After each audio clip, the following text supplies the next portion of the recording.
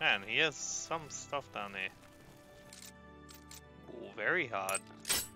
Shit. Aha!